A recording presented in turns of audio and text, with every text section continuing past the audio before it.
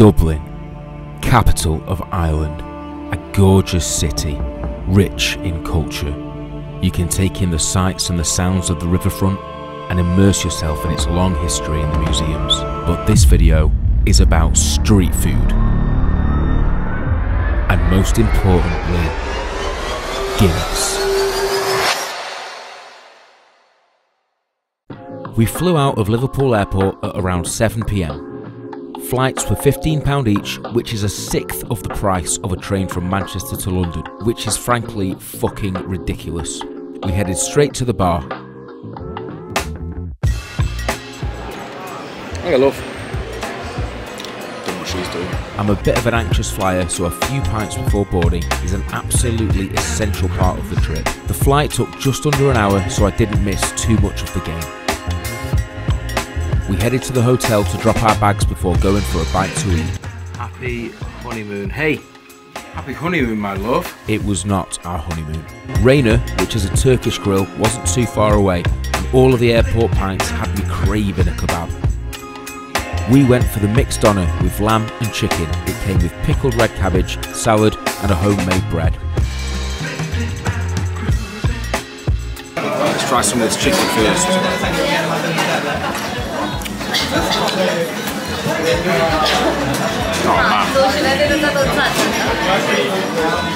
It's good. My only worry is it's going to be gone in about 30 seconds. A lot of people say it's the best kebab in Dublin, and I've only been here for half an hour. It'll take some beating. Some of the doner, some of the chicken, some of the lettuce, bit of tomato as well. Right, let's wrap that up. Let's give it a dip.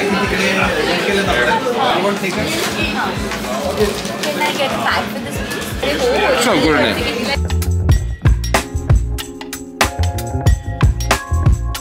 We've had our kebab, and now we're gonna go to Temple Bar. I've been there before. It's about fucking 20 quid for a Guinness. Tourist trap. We're going a proper search for a good Guinness tomorrow. Everyone has said stay away from here, but we're gonna go there. So, this is the Temple Bar, notoriously busy and expensive, but it is popular for a reason. There was live music playing, and the crowd had people from every stretch of the world visiting this great city. The vibes were a 10, and the Guinness definitely hit the spot. Oh, I tried to split the G, I fucked it. We did kind of want to sit down after all the travelling, so we walked down the road to the old storehouse. This was a Wednesday night and everywhere was rammed, but we found a little table in the corner.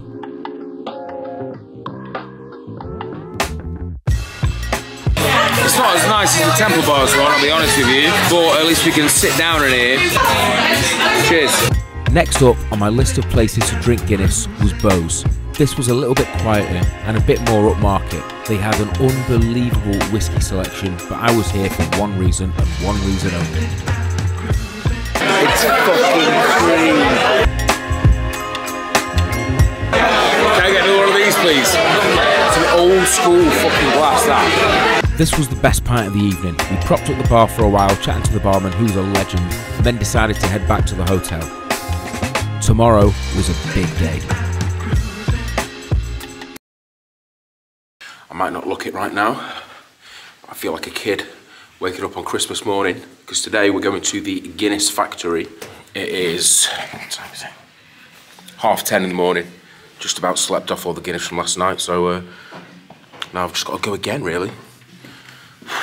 We stayed in Hotel 7, a short walk and a shorter drive from town. It was around 90 quid a night. All we need is a comfy bed. We don't spend much time in hotels, so usually go for a cheaper stay. This was perfect. Wasn't the best part of Guinness in the world. Luckily, I'm going to the fucking factory now. Had no breakfast, woke up too late, went to bed too late. Oh, our Uber's here, so uh, we're going to get in. The Guinness Factory.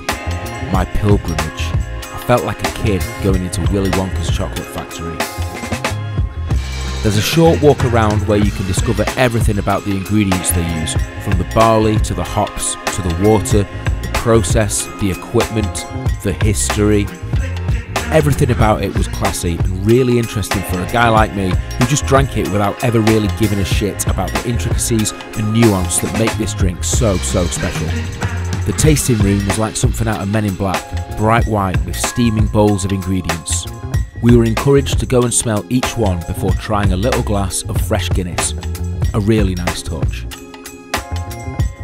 There's even a floor dedicated to the marketing and iconic adverts over the years before you get to the first bar. You can pay 8 euros for a pint with your photo on it, which we obviously had to do.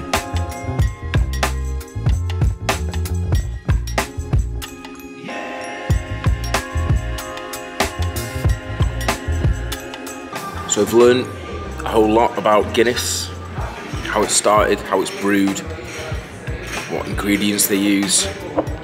But now it's time to uh, to fucking drink a load of it. This is the legendary Gravity Bar on the seventh floor. Get a Guinness and can I have a Hop House as well, please? In the Guinness factory, on the seventh floor, in the gravity bar, out. I'm and she's having a fucking lager. After I'd got over the outrage of my wife not getting a Guinness, we sat down and drank with a stunning 360 view of the whole of Dublin. Tickets were 26 quid each with a free pint at the top. It's a must if you love the black stuff. we have left the Guinness factory. The Guinness that's on, it wasn't that great, was it?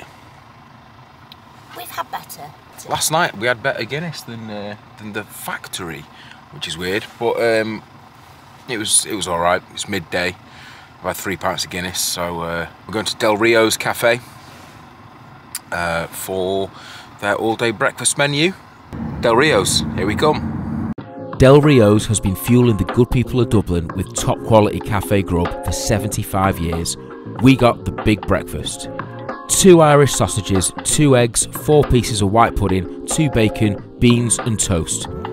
We got a side of the chips too, and I don't know what they fry these in, but that crunch was absolutely unreal. If you want to line your stomach for a day of drink, this is the place for you. We walked down to Mulligan's where I forgot to take the slow motion mode off my camera, but the Guinness was wonderful. Is it in slow motion? No. no, where next? The Palace. The Palace. The Palace Bar is one of Dublin's oldest pubs. They've been selling pints for 200 years. This is just a place you have to experience, and the Guinness was fantastic. bloody good Guinness that. We just had a lovely, uh, a lovely pint of Guinness, another lovely pint of Guinness in the Palace Bar, and now we are going to The Oliver St John Gogarty. the where? The Oliver St John Gogarty bar. We're going there. Gogarty's was bustling, and you could hear it from down the street.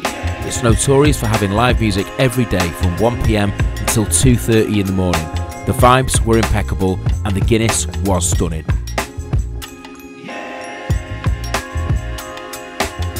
I'm just enjoying them. I'm just enjoying every single pint. Enjoying Dublin as a city. I don't really want to leave, but it's fucking expensive here. It's fucking expensive here. And there's a place opposite called the Old Dubliner. So uh, we're gonna go in there for pint number eight at quarter to four. Hey, hey, hey. They're all starting to taste the same now, if I'm being completely brutally honest. Go and request. Uh, I will. Wait, what are you going to request? Never you mind. I don't know what she's going to request here. She's she's fucking requested Elvis. This is our wedding song. Falling in love with. Babe, I'm getting to the stage where I want to fucking sing Bohemian Rhapsody in front of a adoring crowd. Guinness is wonderful. The vibe is wonderful. The old Dubliner. It does smell of sick in here. It does smell. it does smell a little bit, innit? But authenticity is key.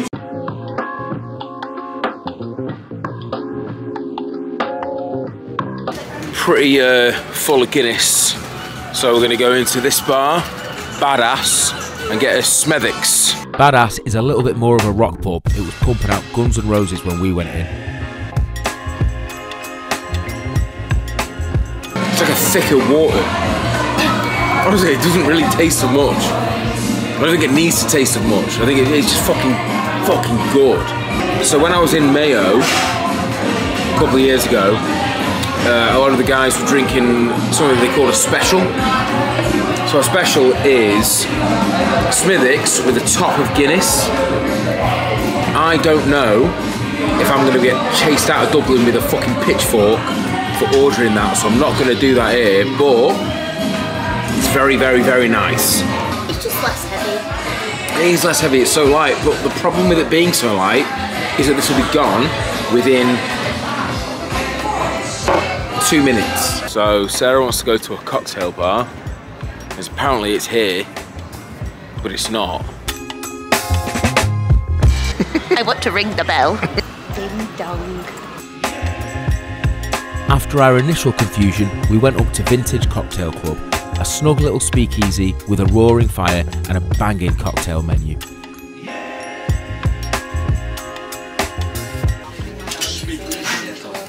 An old fashioned here. That's a really nice one, mate, you know. I feel like Don fucking Draper. Don't anymore. right, cocktail bar done, and now we are heading to Dash Burger. Apparently, some of the best smash patties in in the city. They messaged us on Instagram, and we're gonna go and try. Dash Burger. I'd seen this place on a few pages when I was researching places to eat. The staff welcomed us and recommended we get the cheeseburger, the cheese fries,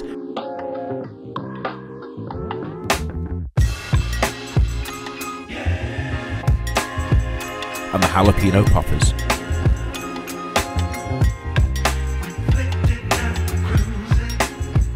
I've great things about this. That's insane. That's insane.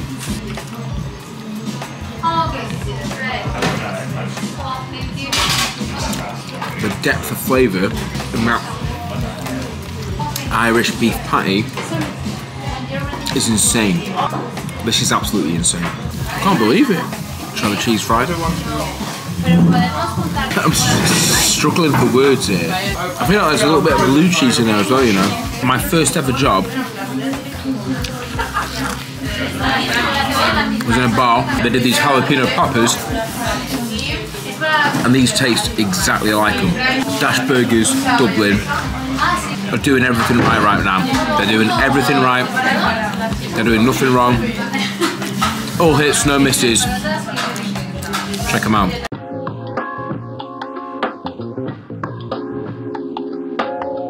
Right, we're going Pantibar. Go on, split it. Split it now.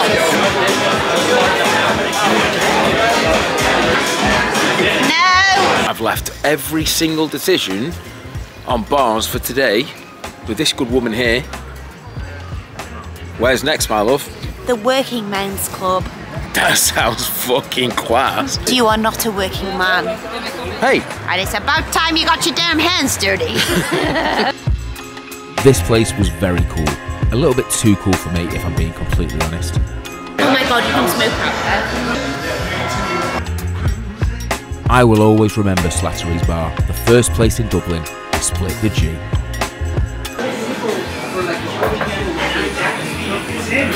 You did it! You did it! I did it. So it's taken me fucking 12 pints. We want to sing some songs, right? Because I was born to be a star. So we're going to go and sing in this bar here. The wool shed is where the night sort of escalated. Delicious and nutritious.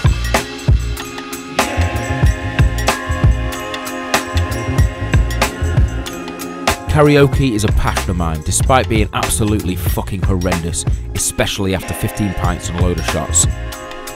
It was time to call it a night. I can see the hotel from here. And we got a taxi for two minutes away. That is embarrassing. Night night, baby. Heavy night last night. Woke up not feeling the best. I walked to the shop this morning to get my good wife painkillers, um, some bit of breakfast, and I trod in a big dog shit. My taxi is here now, and I'm going to Gravediggers, which is apparently best Guinness in Dublin. And I'm excited. She's in bed. Let's go. John Kavanagh is located next to a cemetery. Established in 1833, mourners used to leave their hearses outside and come in and drink away the pain. When they left, the gravediggers came in to get leathered, and so the name was born. Now it's home to one of the best pints in the world. Well, I'm not hungover anymore. This will be gone fucking quickly, just. Something special happening here. In this pub. Being quiet because I'm talking to a fucking camera on my own. But there's something fucking special happening here. And I'm a part of it now. Gravediggers in Dublin. Get yourself over here. I've had two pints. Well, one and a half, one and a, one and a third pints, and I'm right back to where I was last night, singing Bohemian Rhapsody in front of tens of adoring fans. Just have to wonder where today ends up for me.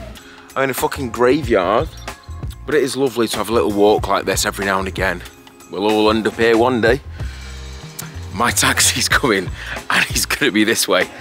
I don't know what's going on today. I'm just a walking train wreck today. Loving Spoon was a much needed addition to my morning. Any food at all at this stage would have sufficed, but this place was perfect. The staff was super friendly and the scran was tip top. I ordered the biggest breakfast that they had.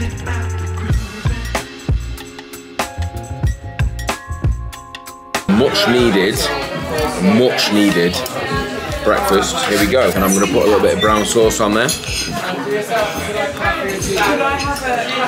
That is outstanding. The white pudding is good. You know what else is good? Baked bean foam. We're going to break these eggs up here as well. Oh, look at it oozing out. Wow. Loving Spoon in Dublin. If you're hungover, get yourself to Loving Spoon. Do yourself a favour. Get here. Get involved. I've dropped another bean on my phone. We are going to go to the first pub that we see That's open. that's open. Looks like it's Thomas Clark's. Okay, here we go.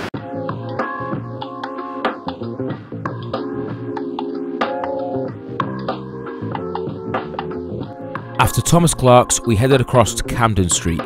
Devitt's had been recommended by quite a few people, so we went in to sample its produce. We really liked it in here, and the pints, plural, were great. Next up was the Camden Hotel. This place is fucking massive with about five bars in it. The main area to watch sport in was really impressive, and it had more screens than in NASA control room. They've got their own brewery in there, and there's even a cinema room you can rent out for big games with you and your mates. We are in Happy Endings and they have sent us over the ramencini. These were little balls of spicy, cheesy noodles, deep fried with a spicy dip. We got the salt and chili squid, the prawn toast,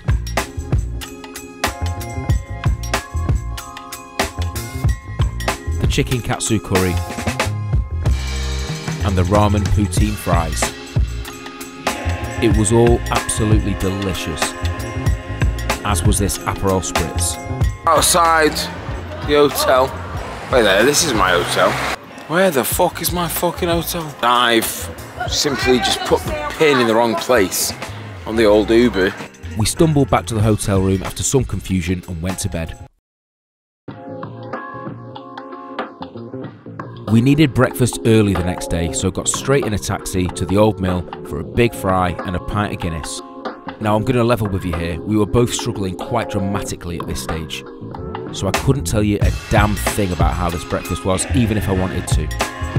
It's not as good as Del Rio's or Loving Spoon, that's all I know.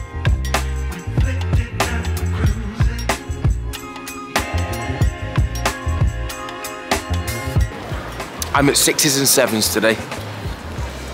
I'm all out of kilter. I'm battered, I'm bruised. This is our last day in Dublin. We fly back this evening, and now we're about to go into what bar are we going? O'Donoghue's. That'll fucking do. That'll fucking do. Our flight home was at 5, plenty of time for a skinful of the black stuff before we flew back home to total pint mediocrity. These flew down the hatch easily, and just like that, we were back in the game.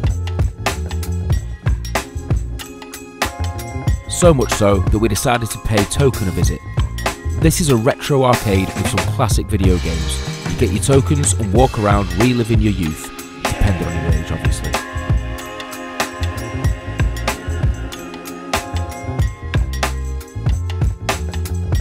We got to stage 3 on Time Crisis before dying, not bad. Food time. Bambino was recommended to us by an Italian who visited, so we figured it had to be good.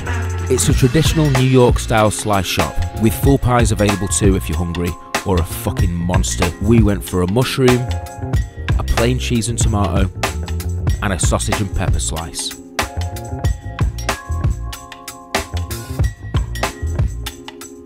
It's a proper New York slice, that, you know. I'm gonna try the cheese and tomato now. We're gonna fold. God, that's a good slice. Really fucking crispy base. Really nice. The sausage is proper Italian. I don't want to big up too much. Because I've, had a- I've had a few pints, but this is this, this is outstanding. Our last pint of the trip was in the Hairy Lemon. This is a cool place. Decades of memorabilia hang from the ceilings, while the bar is decorated with foreign currency signed by patrons with messages of love. On the way to the airport, we had to stop off at Sansab's for an Irish delicacy, a spice bag.